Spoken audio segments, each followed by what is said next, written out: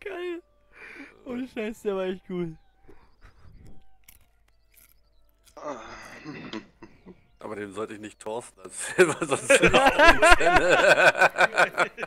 äh, das äh, glaube ich auch, ja. Äh, nee, der ist schon in Ordnung. Das Beste war ja mal mit Thorsten gewesen. Da war irgendwas mit dem ersten Keep, ne, was, was, was äh, Dings jetzt hatte. Ich ihn so, er hat, weil ich irgendein Haus äh, gehabt hatte, das bezahlt werden musste und ich konnte irgendwie nicht Sub gehen und äh, er hat sich dann eingeloggt, hat meinen Sub bezahlt. und auch über einem Jahr haben wir festgestellt, dass er das immer noch zahlt, weil wir nicht mehr durchgestiegen sind mit unseren Accounts, wer was, wo, wie zahlt, weil wir so viele hatten. Ah, Das war so klasse.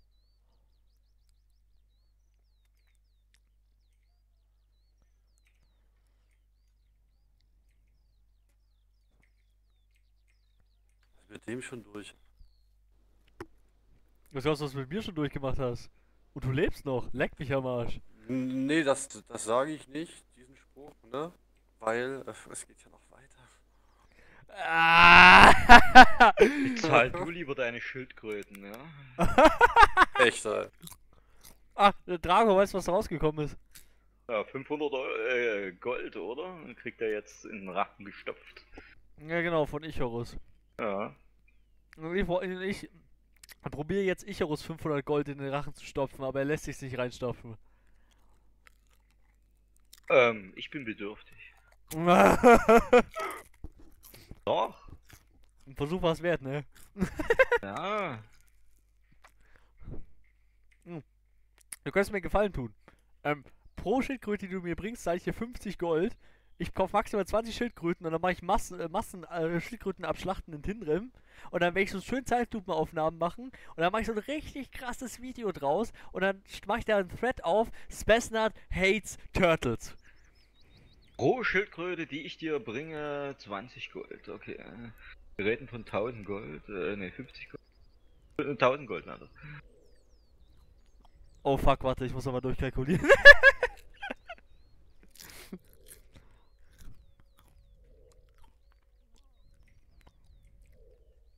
ich will unbedingt einen Schildkrötenmassaker veranstalten. Ja, dann, äh. Kommst du, glaube ich, billiger, wenn du einfach mal Richtung Dschungel reitest. Ja, ich glaube, da reite ich einfach Richtung Dschungel, dann mache ich so einen Overhead-Strike auf so eine Schildkröte und dann kommt, dann kommt genau. im Hintergrund so die Musik so We are the champions! Und dann, dann die, die, die Axt so ganz langsam runter My friend! Bam! Im Arsch! Und dann kommt so der Guild-Hack von den Pfeifen, die uns abgezockt haben und dann so Fuck you! oder, oder so, so Wanna 500 more? oh Mann. Übrigens, Hackel, ich brauch dich. Okay. Ja, er ist da, auf jeden Fall. Soll ich Skiff bezahlen, um die ganze Scheiße an meinem Tower wegmachen zu lassen? Ich würde doch eher gleich RPK nehmen, wenn die sowieso umsonst machen. Nee, weil RPK, die machen es nicht umsonst, sondern ich muss das äh, managen, Oh shit. organisieren und dafür habe ich keine Zeit. Ja, also, was hast du denn? Du hast in Tower. Einen verdammten Mage getroffen. Ich kann kein Mage setzen. Wenn ich ein Mage drauf setze, äh, lachen die sich ins Fäustchen und siege meinen Tower. Und wenn ich Skiff Nee, nee, was haben du für ein Scheiß- Problem dort hast? Du hast in, du hast in, in Tower und da steht, äh, steht was drauf? Eine Mage, ne? Da steht vor meinem Haus, 5 Meter vor meinem Eingang, steht ein Watchtower und eine Mercenary Mage. Und der Eingang des Watchtowers ist direkt mein Eingang gerichtet. Also Ja, also äh, sehr ungesund. das, ist doch, das ist doch ganz äh, gut ausgedrückt, sehr ungesund. Das Also ist wirklich ein wegen- Problem. ich habe jetzt wegen Dread circa hier in Gaokor circa 5000 Gold verloren.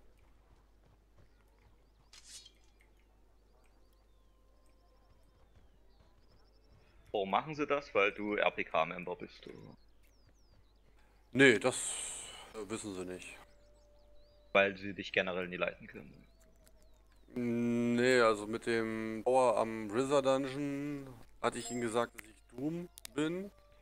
Ja. Und da gab es eh Stress mit ihm, deswegen haben sie den weggemacht. Dann habe ich mir einen Chat und einen T1 Tower hier noch zusätzlich platziert nebenan. Das haben sie dann auch weggemacht. Am Rizzer Dungeon hatte ich noch eine Bank, Testing Tables und so weiter stehen und natürlich auch Sachen in der Bank drin gehabt. Die haben sie weggemacht. Ja. Also sie wollen dort gar keinen sozusagen. Die wollen gar keinen. Das ist ihr Gebiet und so haben sie es geschlossen. Und der einzige, der noch ist, ist wirklich nur noch ich mit meinem T3 Tower. Wie haben die es komplett geschlossen oder was? Das Ding ist so. Du kommst hier nicht mehr rein, außer übers Ach, verarsch mich mit doch nicht. Ferretti. Der Gauko ist dicht. Alter. Ich habe jetzt einen Charakter in Skiff, mit dem kann ich mir das Tor unten aufmachen, dann kann ich einen anderen Pass benutzen, ansonsten kommt hier keiner mehr rein. Außer Skiff.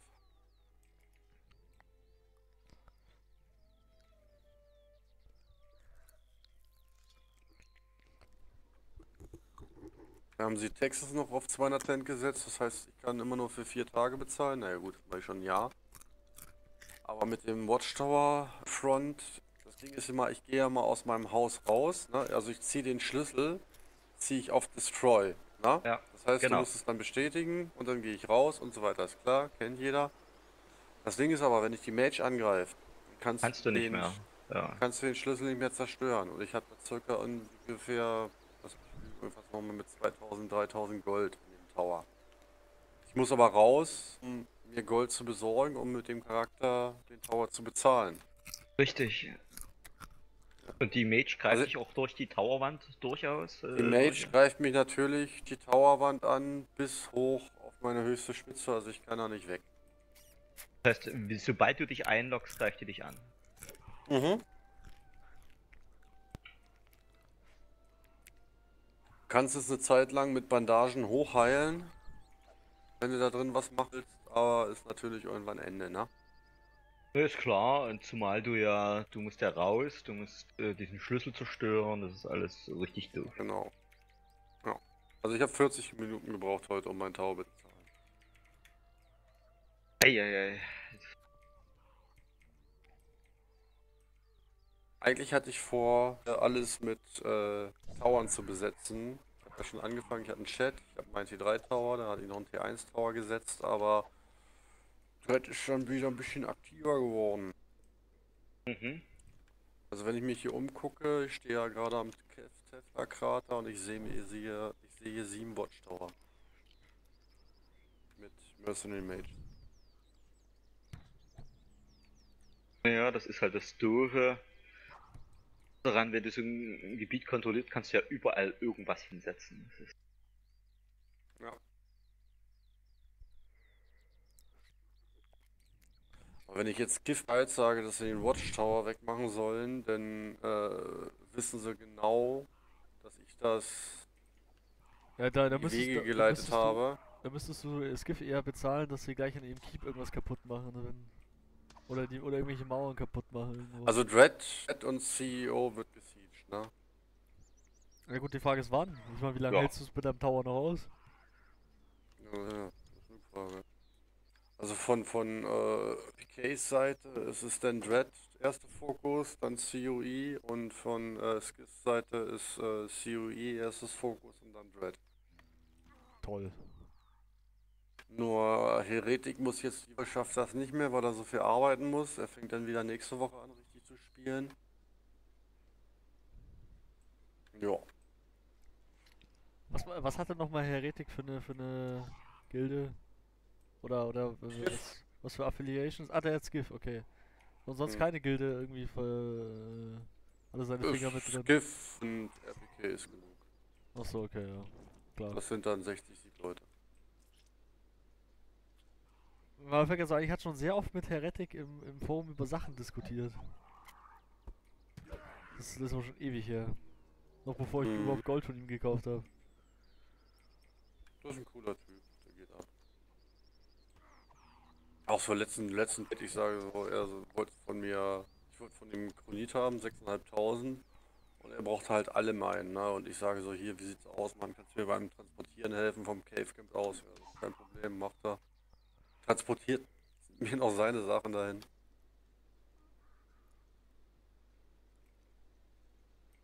Ja, aber ich meine, selbst wenn die wissen, dass äh, Skiff das da weggemacht hat, ja und? Ne? Also, wenn ich einen Watchtower hinsetze, am nächsten Tag ist er weg, ja, dann fühle ich mich angepisst, ne? Und äh, wenn ich mich ganz stark angepisst fühle, denke ich mir so, oh, der verdammte Wichser will nicht weichen, dann zieht schon mal trotzdem sein Tower. Naja, ja, sicher, ne? Oder ich warte jetzt noch ab, was passiert. Also ich krieg mein, ich krieg mein Tower ja bezahlt, ne? Das ist ja kein Problem. Ja. Erstmal jetzt wieder für vier Tage, dann bezahle ich ihn wieder, dann bezahle ich ihn wieder. Stellen sie dann mehr Watchtower auf, dann muss ich handeln. Na, oder machen irgendwas anderes, was mich daran hindert, mein Tower zu bezahlen. Ihr müsst das mal auf der Warte sehen, ne? Ihr seid äh, Dread Leader in Gaukor, Gaukor ist dicht, ne? Ihr habt einen dicken Penis und sagt hier, das ist mein Land, ne? Kann man ja sagen, kann man ja spielen, ist ja ein ganz äh, legitimes Spiel hier, was die hier betreiben, ne? Da steht so ein scheiß verdammter T3-Tower mit einem Typen, der sich die ganze Zeit wehrt und nicht gehen will.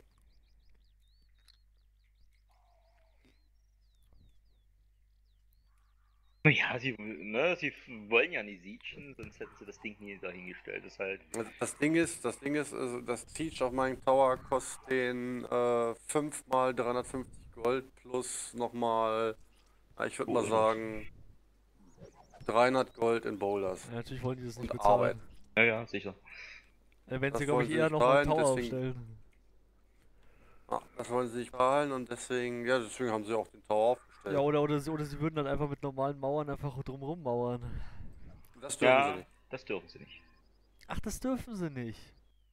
Also du musst raus und rein können, ne? Das. Ja, aber wenn direkt ein Watchtower da steht mit einer Mage Guard, dann zählst du auch nicht als draußen rein, oder? Also das Ja, ist aber sie dürfen nicht kann ra zubauen. ich hab's geschafft. Ich kann raus und rein. ja... Ah, gut. Ich habe zwar alles bei Arnstein versucht, ne, auszuhandeln, aber er sagt, es ist legitim. Also du darfst den Gegner nicht einmauern. Obwohl ich das eigentlich auch noch als legitim empfinde, weil ob du ihn jetzt einmauerst oder einen scheiß verdammten Watchtower mit einer Mercenary Guard in Front stellst, Naja, ist da das kann- gleiche. Ja, aber du, so kannst du wenigstens noch, äh, du kannst, du könntest noch wegrennen oder was auch immer, ne? Hm, ja, geht, geht ja. Kannst ja machen. Ne? Ich renne ran, ne, hau ich mir eine Bandage rein, zahle meinen Tower, verpisse mich wieder. Genau. Ne?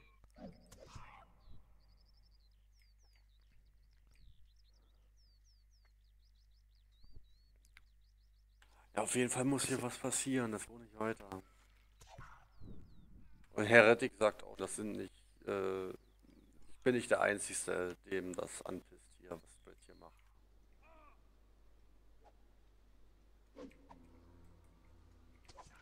Toni, bist du gerade im WZ? Du, ich stehe gerade am Arsch der Welt. Aber was soll ich so, machen? nee, weil da, da war gerade ein roter im WZ-Keep, habe ich gesehen. Am oder im Nee, der ist gerade rausgeritten beim oberen Tor. Name? Ich hab's nicht gesehen, ich war am Verarbeiten von meinen Materialien und ich habe nur das Pferd gesehen. Ein Roter ist rausgeritten Oh, aus unserem. Ja, Hackel, selbst sonstiges. Okay. Solange sonst keiner sieht, ist ja nicht schlimm.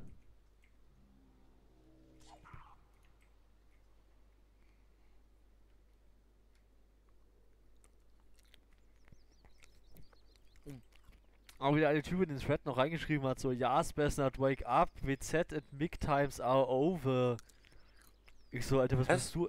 Ja, keine Ahnung, dieser Bongrips-Kerl, der hat, der, hat- der, der hat jeden, der hat anscheinend jeden Thread von mir gelesen und, und, und, und, schreibt da Sachen rein, die wo vor fünf Jahren passiert sind oder so gefühlt.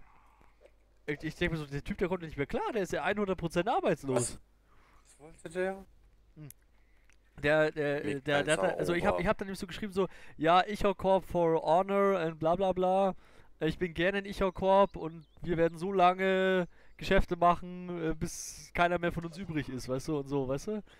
Und dann hat er Ah. so, so geschrieben, so, ja, wake up, WZ and Mick äh, times are over und bla bla, was ich denn für ein Idiot bin und ähm, mich dauernd in allen Gilden rumtreibe und äh, eben mit RPK zusammenarbeite und am besten noch mit Dread und was weiß ich was.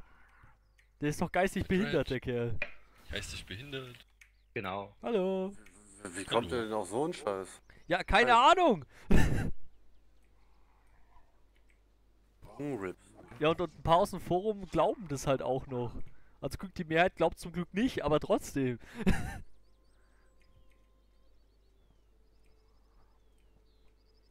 Mann, Hm. Mann, Mann.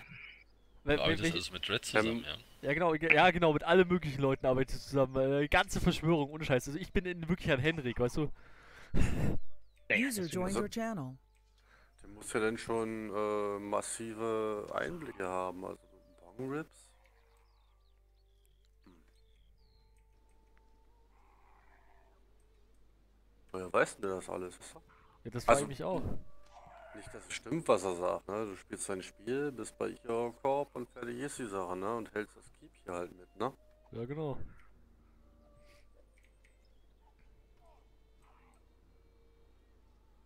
Hm. Wahrscheinlich hat er einfach die Forumspost von vor drei Jahren angeguckt, wo ich noch geschrieben habe, so, ja, wir sind WZ und ihr könnt euch alle ins Knie ficken.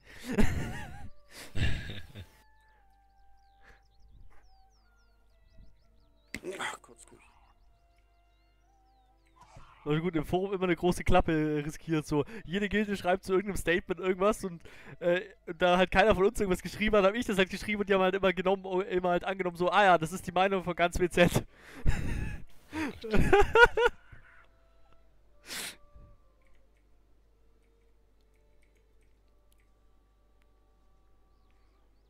Ich glaube mit den Hawk-Leuten so, yeah, you want more, you get more, you fuckers. Äh, Aber dass er deine ganzen Fake-Accounts gefunden hat, ist schon nicht schlecht. oh. Äh. Ich habe da auch in dem Moment nicht nachgedacht. Also, Es sind ja nicht alle Fake-Accounts von mir. Ja, Ja, das das stimmt. die anderen sind wahrscheinlich von Azidano oder so. Ob es das jetzt besser macht, ist eine andere Sache. Ich, ich habe ja nur vier. ja, es ist, erschien mir auch eine doch ziemlich lange Liste.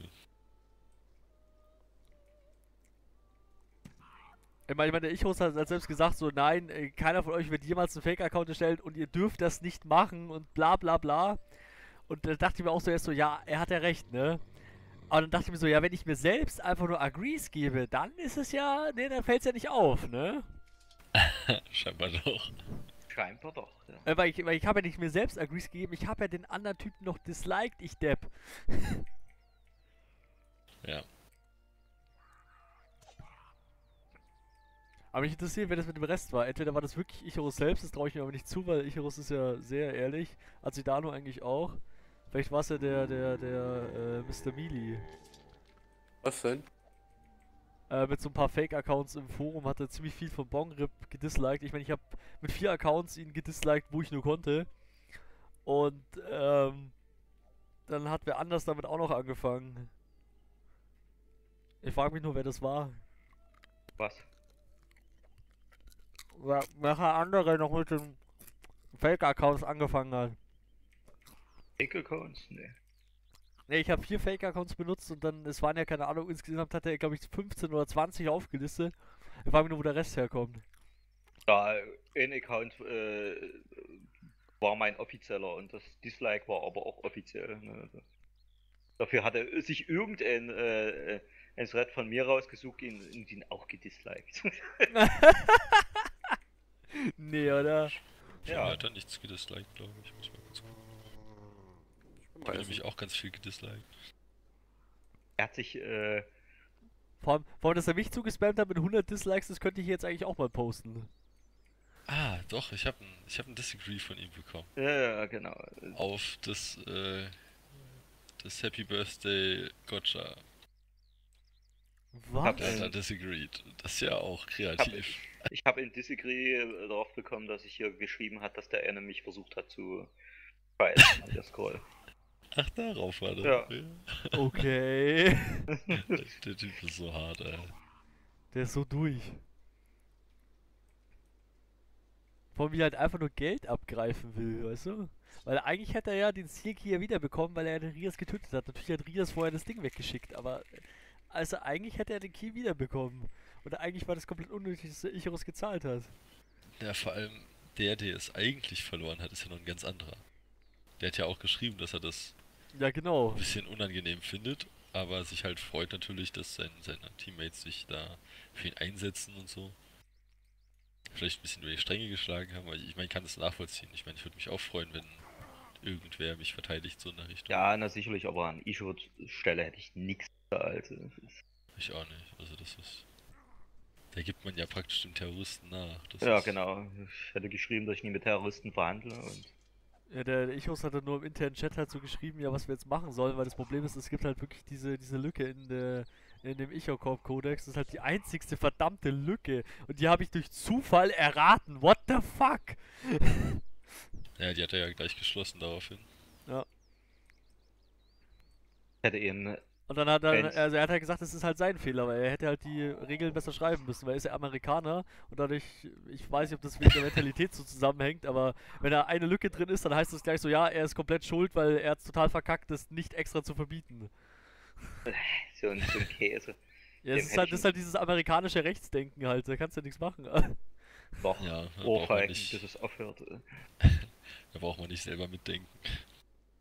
Hätte den Endstack äh, Turtle Caracas geschickt, den Typen. Und, Vielleicht sogar anderthalb. oder anderthalb, genau. nee, nee, nee, er hat ja gesagt, die Turtle war ja Level 125, weil es, das konnte er aus dem Video genau erkennen. Ja, ja, ist klar. Okay. Er hat halt die Pixel an der Wand äh, verglichen Ja. mit der Höhe der Turtle. Er Da, da hat er noch ermittelt? 50 Referenz-Turtles genommen, um die genaue Höhe zu bestimmen. Ne, die kennt er ja. Achso, ja, Der hat, den, kennt er ja. der hat den Schatten, den das äh, Turtle geworfen hat, äh, auf die Wand, Er äh, ist ja der turtle zurückgerechnet. Ja, ja. Hm. Aber ganz ehrlich, ganz ehrlich, das geht in die Geschichte von Mortal ein, dass jemand 500 Gold für eine verdammte Turtle bezahlt hat. Ja, ja, äh, das äh, niemals, ne? Ja, voll der Typ hat ja selber noch gesagt, hier, ich geb dir 400 Gold zurück. Das kann ja nicht sein, so eine Richtung. Ja, nee, aber we- weißt du, warum er das machen wollte? Das ist ganz simpel. Wieso das Geld wieder zurückgeben wollte, weil wenn, wenn er das Geld an komplett, komplett gesagt, wenn er das nicht gesagt hätte, dann äh, wäre es ja so, ja, äh, was ist das eigentlich für eine scheiß Gilde und alle im Forum würden sich halt denken, ja, diese fucking Idioten, weißt du? Aber das war halt, das finde ich halt echt Arschloch von ihm, dass er dann auch sagt, so, ja, ich schick dir das und das zurück. Das ist so Arschloch-like. Und das allerbeste ist, dass der Ichros auch sagt, nö, wollen wir nicht haben, verpiss dich.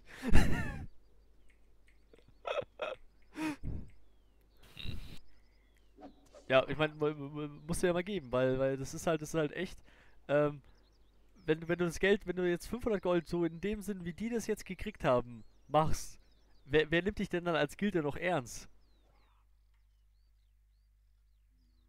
Oder? Oder, oder, also, also ich meine, ich, mein, ich kann doch diese Leute, mit denen will ich nie wieder irgendwas zu tun haben, mit denen will ich gar nichts zu tun haben. Das denken sich viele wahrscheinlich auch. Weil wenn die schon in so einem Punkt so agieren, das will doch keiner haben.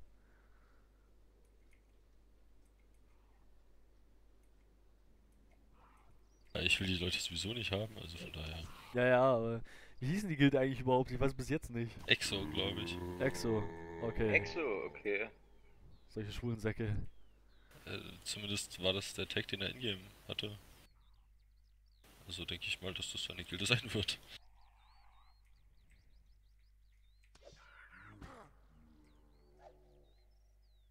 Ah, Konas kommen in den nächsten Patch mit rein. Statistik. Oh. Sebastian. Wahrscheinlich, Sebastian hat mir gerade geschrieben. fängt wahrscheinlich dann von null an zu zählen, aber. Ja, Ja. also hoffentlich nimmt er jetzt auch den Eros Crossum und den, den anderes Zeug rein. Ich hab's ihm geschrieben, er hat dann auch geschrieben, so ja, er setzt es auf die Liste, er wird schauen, ob es vielleicht möglich ist. Ich meine, die Playtime haben wir ja jetzt schon. Schon gemerkt? Ja. Hm, War nicht gut, gar nicht gut. Finde ich eigentlich gar nicht so scheiße. aber bei mir steht ja noch nicht so viel. In den letzten Tagen habe ich ja nicht viel gespielt. Beziehungsweise verteidigt das ja mal gut auf alle Charaktere und dann ja, ja, sieht das nicht so schlimm aus.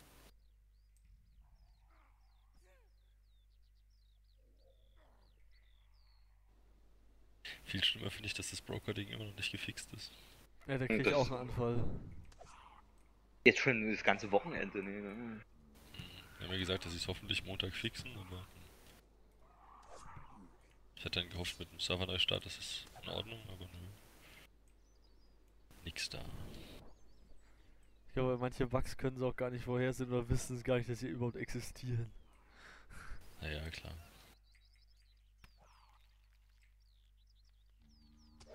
Das ist ja meistens so. Also wenn ich irgendeine Software, irgendein Update release oder so, dann kenne ich die Bugs auch noch nicht.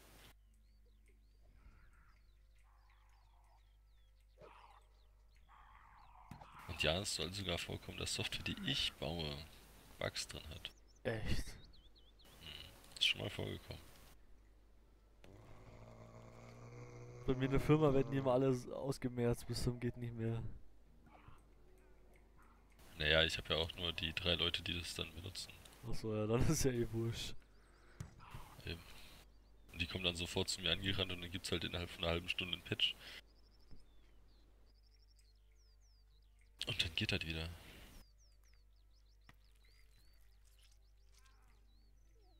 Was machst du nochmal genau?